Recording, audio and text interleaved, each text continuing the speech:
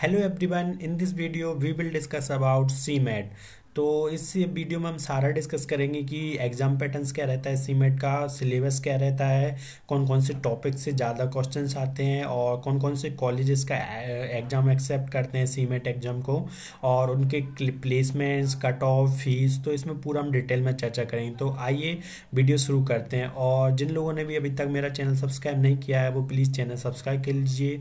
तो आइए वीडियो शुरू करते हैं। तो बेसिकली क्या रहता है कि जो सीमेट का एग्ज़ाम्स रहता है, उसमें जो एग्ज़ाम पैटर्न की हम बात करें तो इसमें चार सब्जेक्ट्स आते हैं like quant general awareness verbal and RCs and logical reasoning तो ये चार सब्जेक्ट्स आते हैं और ये उसका एग्ज़ाम पैटर्न है। और यदि हम बात करें तो पहले से ये जो सीमेट का एग्ज़ाम था, उसमें सौ क्वेश्चन आते थे, लेकिन लास्ट ईयर से एक और सेक्शन ऐड कर दिया गया है।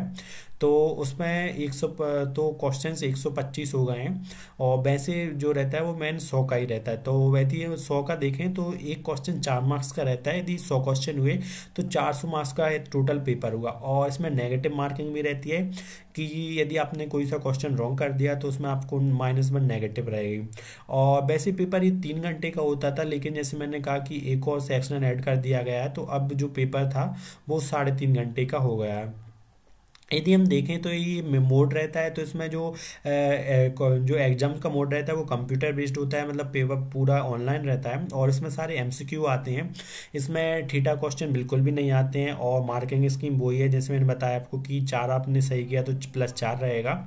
और यदि आप कोई सा को आंसर्स गलत कर देते हो तो उसमें ना, माइनस बन रहेगा और यदि आप कोई सा छोड़ देते हो तो आपको उसका ज़ीरो मिलेगा।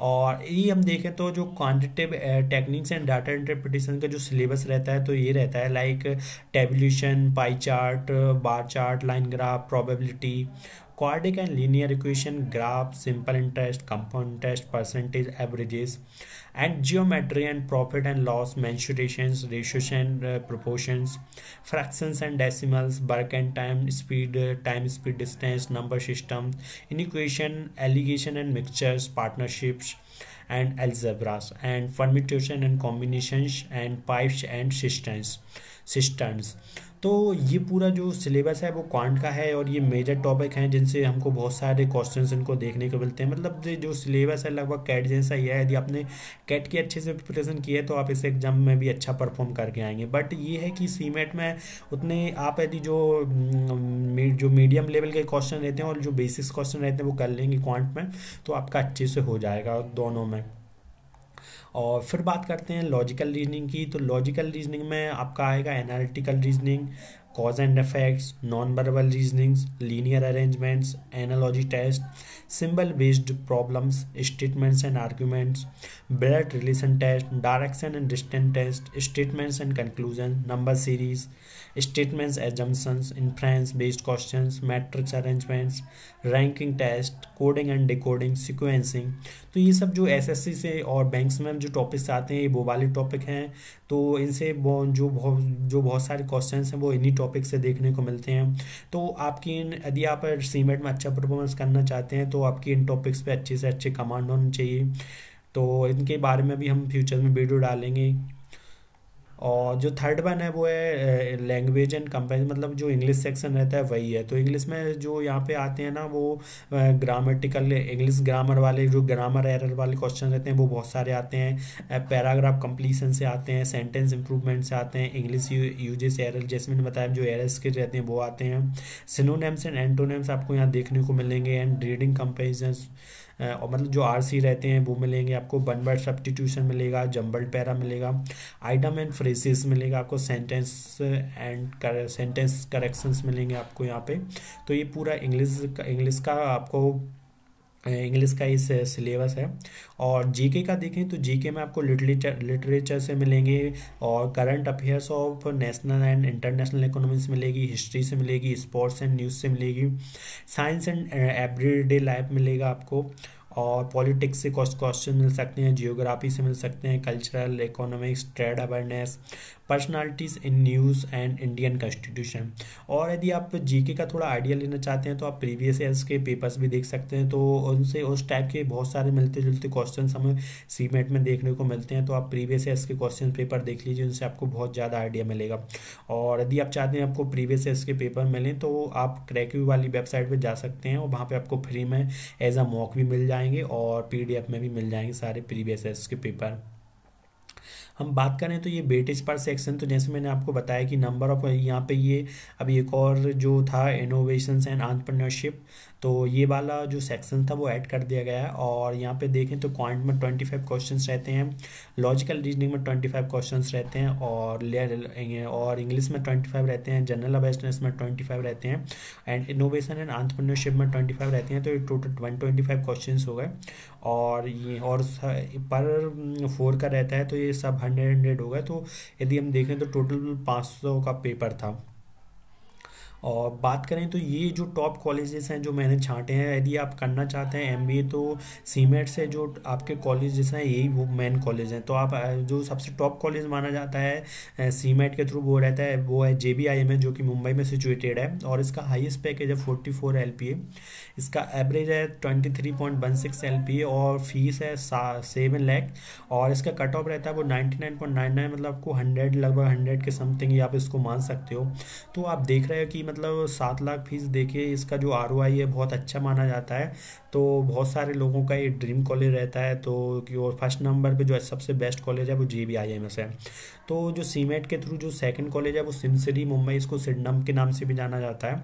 और इसका देखें तो इसका पच्चीस लाख का जो हाईएस्ट पैकेज जाता है, पच्चीस लाख जाता है। उसकी एवरेज सैलरी रहती है ट्वेल्व पॉइंट थर्टी लैख और जो फ़ीस है इसकी वन पॉइंट थ्री सिक्स तो जो इंडिया का ये सबसे सेकंड बेस्ट भी एफ़ एम एस के बाद सेकंड बेस्ट बी स्कूल है, जिसको आर ओ आई की टर्म में सबसे बेस्ट कॉलेज माना जाता है, क्योंकि आपको ओनली बस एक one point three six lakh fees देके सीधा आपका पच्चीस लाख का भी पैकेज लग सकता है तो ये सबसे बेस्ट में माना जाता है। और इसका कट ऑफ़ भी लगभग नाइन्टी नाइन प्लस के समथिंग ही जाता है, क्योंकि इतना आर ओ आई में लोग इसको ही लेना पसंद करते हैं। उसके बाद आता है सिमसरी और sorry S I M S R और इसको के जे सोमैया के नाम से भी जाना जाता है। तो इसका जो हाईएस्ट प्लेसमेंट है छब्बीस पॉइंट फाइव और इसका एवरेज है टेन पॉइंट सिक्सटी और इसकी फ़ीस है वो थोड़ी ज़्यादा है एट्टीन लेकिन इसको भी top M B A college में माना जाता है और इसका कट ऑफ़ भी रहता है नाइन्टी फाइव नाइन नाइन तो इसको भी आप चूज़ चूज़ कर सकते हैं। यदि आपके पास और इससे अच्छे ऑप्शन नहीं है और यदि आप इसका फ़ी पे कर सकते हैं तो वैसे भी वो लॉन्च के थ्रू होता है सब। तो ये भी एक आपके लिए एक अच्छा बेस्ट ऑप्शन हो जाता है। उसके बाद आता है बेलिंगन इंस्टीट्यूट ये मुंबई में भी है। इसका कंपस एक बेंगलोर में भी है। लेकिन इसका जो मुंबई वाला है, वो थोड़ा अच्छा है। और जो मुंबई वाले हैं, उसकी जो हाईएस्ट सैलरी जाती है, वो nineteen point two five L P जाती है, और उसका एवरेज पैकेज जाता है nine point two five L P and fees की बात करें तो ये थोड़ा थर्टीन इसकी जो ट्यूशन फ़ीस है मतलब थोड़ा और एक दो लाख और आपका जो मैथ्स वगैरह है, उसको आप ऐड कर लीजिए आपका। तो ये थर्टीन ओनली ट्यूशन फ़ीस है यहाँ की। और बात करें इसकी कट ऑफ़ की तो इसका कट ऑफ़ भी ninety five to ninety nine percentile की समथिंग ही जाता है।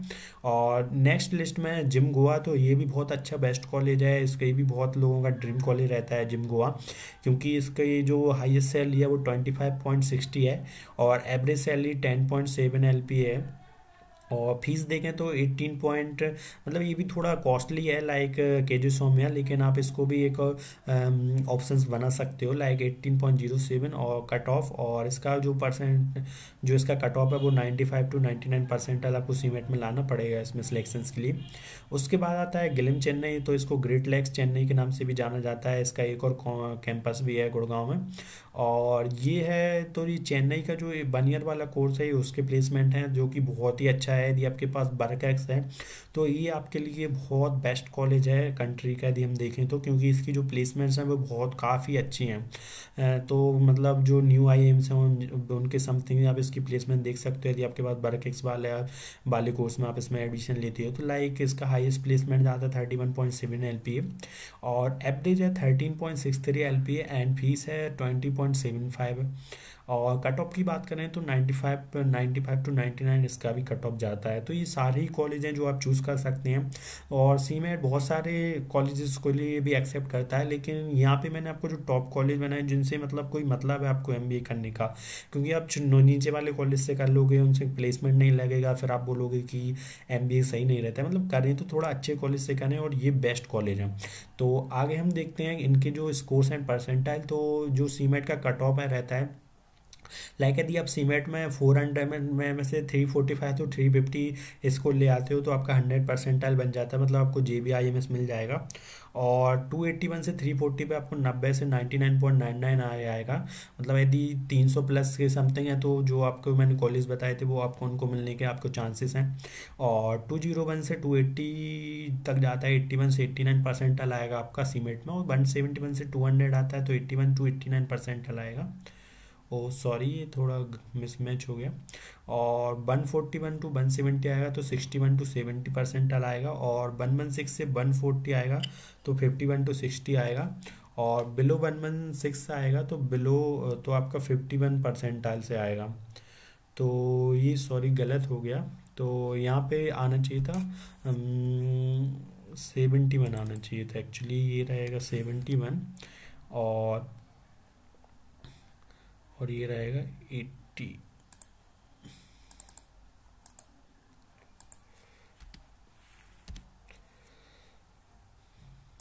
तो आपका ये रहेगा सॉरी तो जो वन सेवेंटी वन से टू हंड्रेड आएगा तो आपका सेवेंटी वन से एट्टी रहेगा तो ये पूरा आपका परसेंटाइल रहेगा।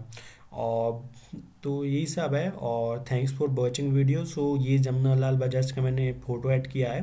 तो ये सब का ड्रीम कॉलेज रहता है। मतलब इतना जो आरओआई है, आपको वो कहीं पे नहीं मिलेगा। ये आरओआई के टर्म में सबसे बेस्ट कॉलेज माना जाता है कंट्री में। So thank you guys if you like my video please like and subscribe और और भी कोई आप वीडियो चाहते हैं तो आप कमेंट बॉक्स में लिख सकते हैं। Thank you